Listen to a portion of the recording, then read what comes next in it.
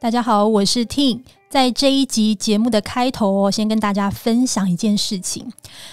非常感谢大家支持我们的课程哦！现在目前的课程加入学员呢，已经快要三千五百人了。想跟大家分享，就是我们在三十岁的上下买下生平人生的第一间房子哦。我们很清楚，就是必须要很努力、很拼命的工作存钱，才能还房贷。我们也深知，买房对很多没有富爸爸的人来说，绝对不是件容易的事。尤其对新手来说，好不容易努力存到了头期款，终于可以买房子了，但却因为缺乏地产的知识与经验，不幸踩雷。所以，我们最近有推出一个线上的课程，把这些专业又生硬的房产知识呢，转化成白话易懂的语言。相信上完课以后呢，你会发现，要买到理想房子，没有想象中的这么难。不管接下来的房市是否明朗，我们相信学会房产知识绝对是人生的必修课，会让你的一生受用无穷，也让你在理想物件出现的时候，绝对可以精准出手。我们这十五堂聪明买房的地产秘密课呢，今天是超早鸟的预购价三折，最后一天，那记得要输入专属的优惠码，听 Sam。T I N G S A N 就可以现折一百五十元。那我们把课程的链接放在资讯栏哦。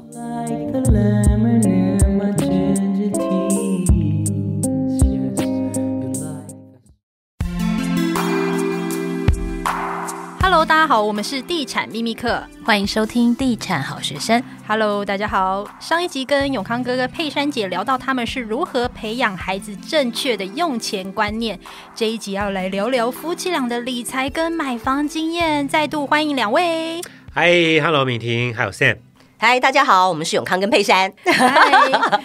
首先呢，我知道永康哥跟佩珊姐很早期就开始买房了，而且是主播圈里面的省钱夫妻档。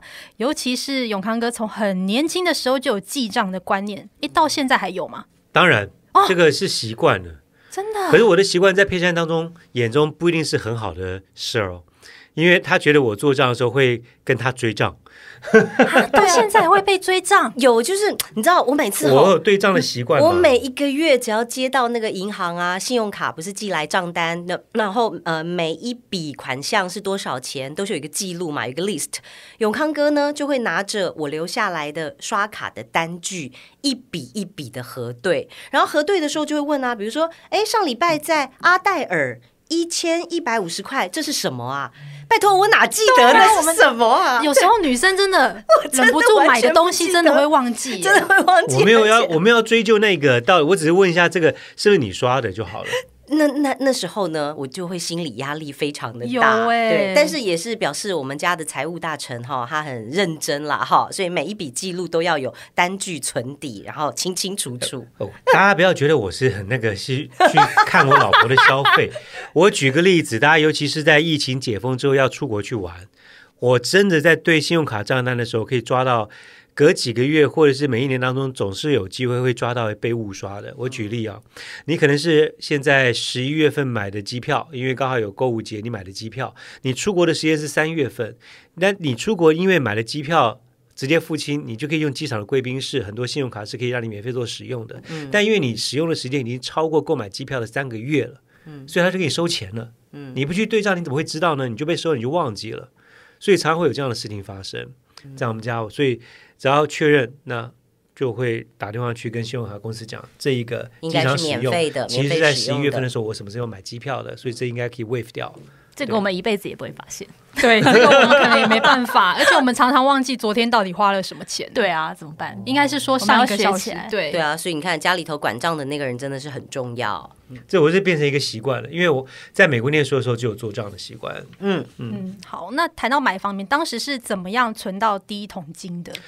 第一桶金，其实，在进到媒体圈，我真心没有太多的消费耶。嗯，所有要去靠投资获利取得大笔资金，对于年轻人来讲，真的不是一件容易的事情。因为一年轻的时候，投资的讯息判断都不是那么的畅通。嗯，那比较实际跟务实的做法是。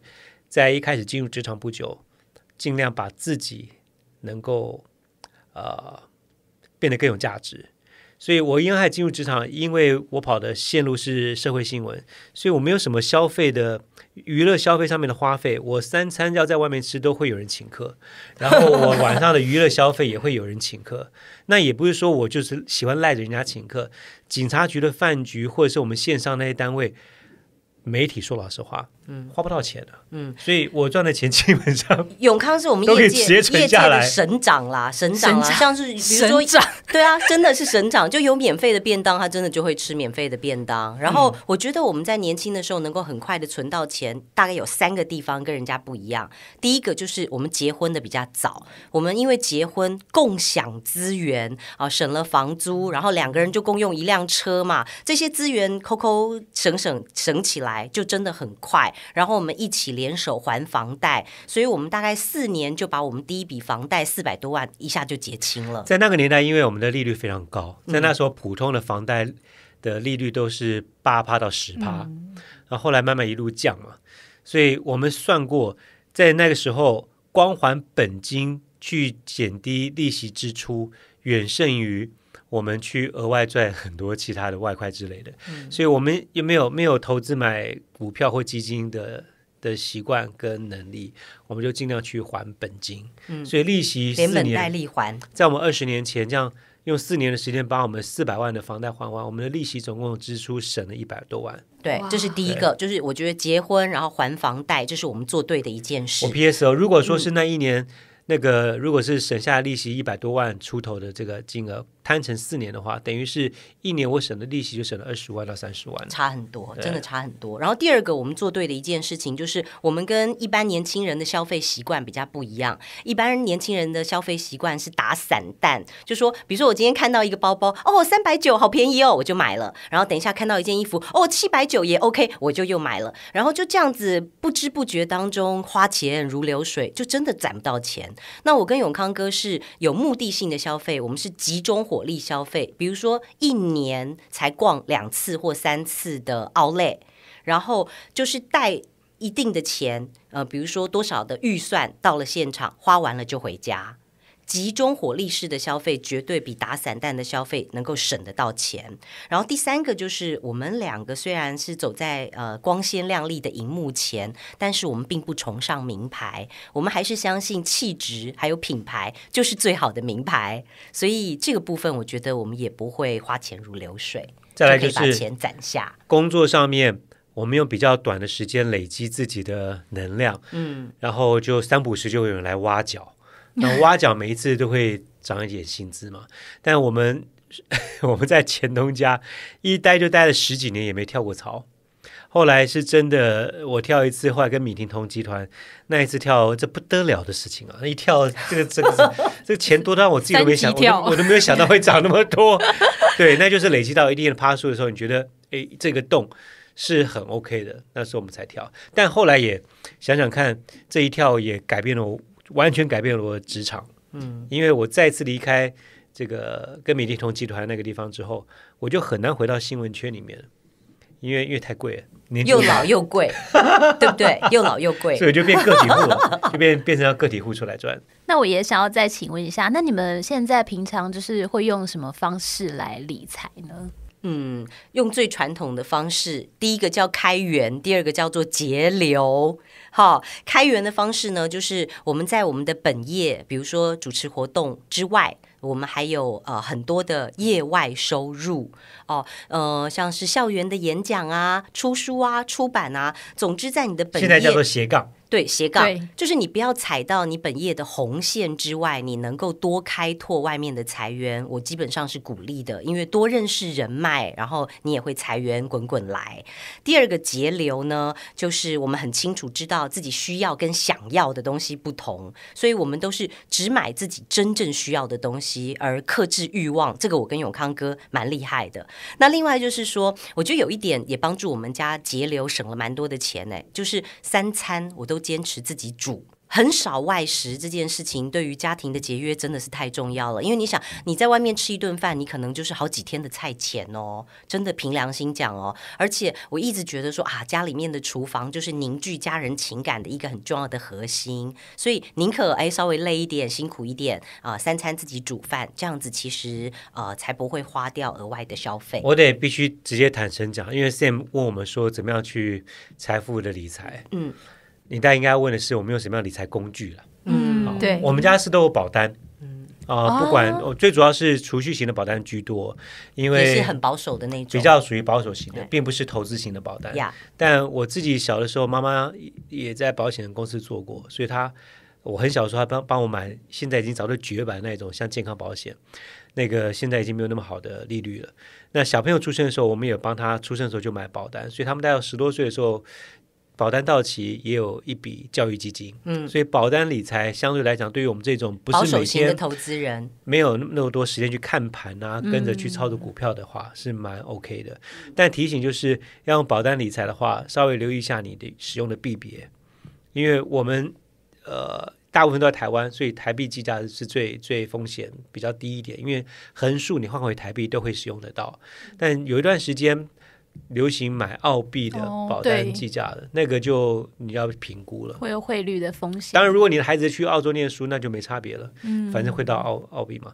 另外，真的让我们财富，我得坦诚，让我们真的有增加的是房地产。嗯，哦房地产就是从我们两千年第一间台北市的小小公寓，然后因为孩子男生女生要分房间，嗯所以开始要换比较大间的，那就一路这样换房子，买跟卖，买跟卖，这样子就在价差上面是让我们能够财富比较快累积的部分。对对，因为谈到房子，就是其实，在各个阶段、不同时期的买房需求也不太一样嘛。那其实很多人都会想说，房子要越换越大。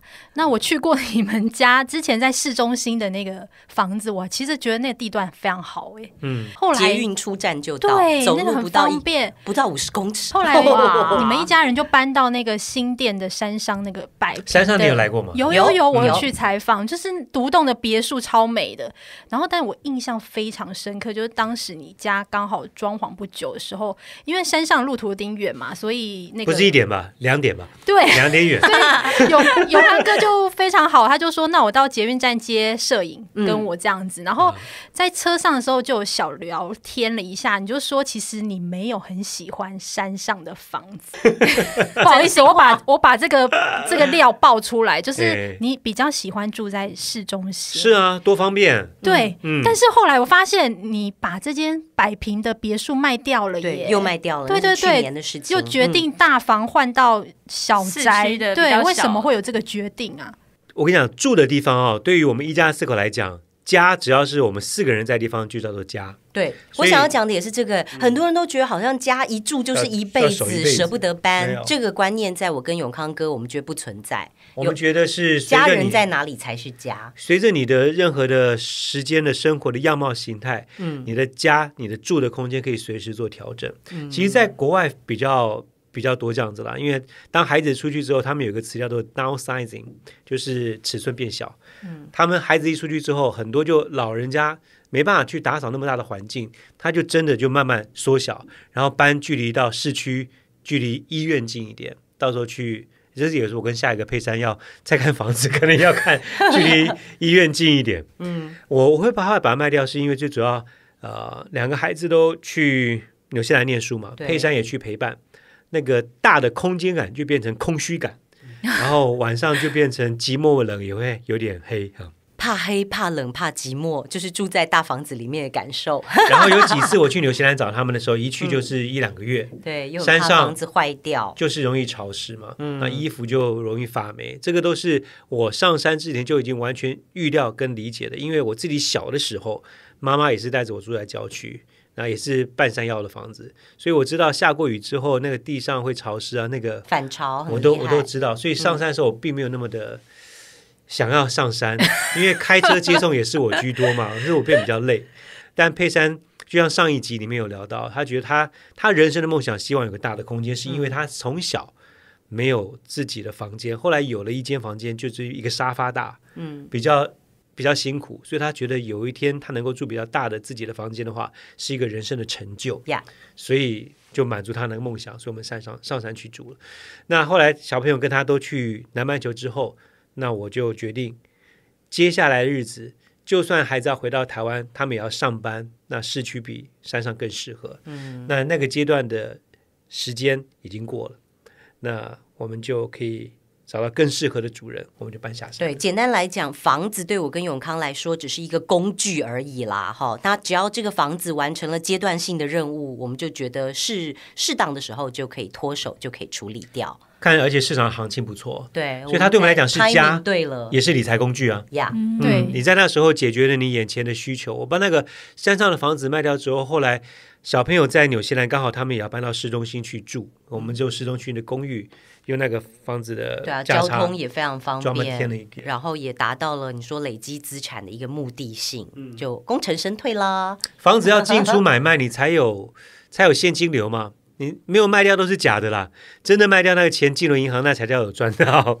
对，那刚刚有提到说，就是在纽西兰自产这块，其实你们应该是很早期就去那边自产，对不对？当初是怎么机缘会找到这个房子？为什么是纽西兰？嗯，为什么纽西兰要从那么远的故事开始讲起的话，那可能要做三集哦。其实就因为有需求啊，孩子要在那边念念书书了，所以必须要有一个房子在那边，才会有另外一个家的感觉。我觉得情感面也要兼顾到。那呃，我们还没有过去之前，那个房子就是一个赚钱的工具，我们有出租给别人收租金，然后把那个钱存起来，也当做孩子部分在纽西兰的教育基金。补充一下好了，嗯因为二零零六年我们第一次人生去到纽西兰，是因为我个人是第一次去的时候是采访，嗯，魔界的电影观光局要推观光，就找了台湾的媒体去帮忙 promote，我就去了。去了两个礼拜之后回到台湾，刚好佩珊那时候他身体需要休息，哦，医生刚才讲说要找个比较长的时间休假。后来就有有了第一次我们一家四口在那边生活的一个经验，非常美好。希望有一天孩子长大的时候，可以再回来这边念书。这是小朋友很小的时候，二零零六年我们许下的心愿。那时候的房子超便宜，对但是我们户头里面超没钱。时不我与啊，时不我与。哦我记得我们家一家四口在纽西兰 long stay 结束的时候，回到台湾，户头再剩十万块台币。嗯，所以你要买房在那边根本就没有机会。是的。可是那边那个时间点，二零零五零六年，他的房子前庭后院两百平四房，多少？台币大概九百万，八九百万。一千万以内，一千万以内内。哎，他讲两百平方米，不是两百平，你要大概六十平左右，两百平方米平方米，啦对啊，嗯，没有没有没有，两百平，两百哦，台你要讲的平吗是台平台平两百平，哦，对对那很对，那很对大对对哎，对。那是要加前庭后院哦，加公公共。可是室内的话也有差不多八九十平啊，八九十平那么，大，那很舒服欸，就是很舒服的阳，就是就是就是你看到电影当中的老外的房子那样子。嗯，现在都现在都在台币要，那时候我刚刚讲八九百万，对现在多少？？乘以三以上。可是你要想，两千年的时候的房子，台北市也是乘以三，嗯，对不对？是所以只要那时候没有 有入市的，应该都是有赚到钱。，对对啊，当时是有需求啦。第二个就是永康哥刚刚讲的高投报、投资率、投资报酬率很好嘛。然后还有一个还蛮重要，就是法规那时候也允许外国人可以买房子。我们那时候住的时候没有钱买，我刚刚讲到剩十万块。嗯后来我们是回到台湾继续努力赚钱，努力赚钱，然后等到二又隔了七八年，才有机会回去看那个房子。对啊，那那时候法规可以买，但是后来呃，因为房地产都被外国人炒作到乱七八糟了，那个高不可攀的价格，因此纽西兰是在前几年就开始更定法规，现在外国人买房限制就非常多了，就不能够买二手的房子，就只能够买全新的房子，会变得绑手绑脚，这个政策就不一样，要跟大家说明一下。但我相信经济这么差，过不久又开放，那都浮动是那都是式的调调整整的，，对每隔几年就会调整，是这样的一个背景。那你们现在那个房子装潢的设计都是你们自己操刀的吗？没有什么设计跟装潢，唯一的装潢就是我的画作。我们家是诶、家徒四壁，就是清爽又简单，所以真的没有什么过多奢华的装潢哎，潢。我来讲一下，嗯像在纽澳，他们买房子跟台湾买卖房子有些不太一样的地方。呀，他们的房子的售价，如果假设是预售屋哈，他们预售屋也是这几年才开始比较有，因为早期基本上就盖好以后才卖。那预售屋他们能够到交屋的阶段，包含的东西不像台湾的毛坯，它会交包括了有基本的厨房的所有的大部分，你可以想到固定式的家具，像洗碗机啦、啊微波炉、烤箱、冰箱要自己买哦，那个是看 size 可以自己买，然后还包括了基本的厨具配备、地毯或地板、粉刷。中央窗帘空调、这基本都有。所以真正在国外，如果你买一个房子搬进去住的话，通常只要买可移动式家具，像床跟沙发这样子。对，就所以你说那怎么样？布置？我们在那边观察也有一个心得，去纽西兰、澳洲这些拜访亲友，一进门就知道这是大概华人的家庭或是老外的家。白色家具有很不一样的思维耶对。第一个看光线，我们东方人习惯白灯顶光。黄黄光一样，我们希望有个吸顶灯，觉得天花板好像会不够高，希望能够尽量贴天花板一点。但老外他们的光源很多是用立灯，来自于不同房间的角落，它不会有一个主要大的照明灯，所以你去老外家里面，常常晚上会觉得怎么那么暗，看不太清楚。气氛，对，但是氛围很好，有时候你到一些呃 西方国家的饭店，晚上进到房间有同样的感受，怎么灯那么暗？我们不给全开，全看就是这么暗，就是那种 feel。还有家具，只要是贴着墙壁的家具，都是华人的家。我。们习惯沙发一定要贴墙啊，对，对。这样空间才大？床也要靠墙，什么都要靠墙，对，他们就才有安全感，对不对？对？但是老外绝对不是这样，对他们沙发很少靠墙壁，对他们一定都是放在视觉的正中心，他可能中间有一个毯子，然后沙发就放在毯子的左右两侧或旁边，对，它不会都不用靠墙壁，。都不用靠壁，对，呀所以这就很很不一样。但是我觉得买房这件事情，不管在国内或国外，我们给大家一个原则性的参考啦。我觉得勤做功课，花时间去认识它，这实在是太重要了。没错，我们不管在国外或者是国内，呃，我们会把那个区啊扎扎实实的、完整的走一趟。要知道哦、学校在哪里，距离多远，公车站牌在哪里，大众运输工具在哪里，超市或者是麦当劳、肯德基这种速食店又在哪里？你要厘清那个地缘关系。还有就是白天你要去看一次，晚上你更要去看一次，晚上你才看得到那个治安的问题啊、以及晴天你去看一次这个房子，下雨天雷雨暴雨更要去看一次这个房子。要一个房子一个物件做这么多次的功课，你才能够说你真正认识它，才能够买下去会有信心。那西方国家的房子跟台湾不太一样，还包括一个就是，他们有时候老房子不会，我们像台湾有些老的公寓，可能因为贷款的年限的关系，哈，就比较不是那么受呃青睐。嗯但是国外房子屋龄并不是绝对啊，嗯，我我觉得他们还是比较像学区，靠近海边，靠近富人区，它的房价就比较会保值。对他刚刚讲屋龄，我可以补充，像纽西兰啊，你动不动就会看到屋龄百年八十年、一百年的房子古，非常的抢手，很多人爱，对，非常抢手。你不会像我们华人第一个思维就会觉得说，哈，那我要花很多修缮的费用，对不哦对？一下这边漏水，一下子这个木他们很爱头坏了怎么办？对，但是不会吗？他们喜欢动手去修，因为你动手了去爱惜它，每一片砖 就连结瓦感的补起来，你就对它有深厚的情感，这是第一个。哦这民情真的很不一样。对他们哎喜欢那种旧的东西，越古老越有价值。那第二个就是因为他们的木材非常的好，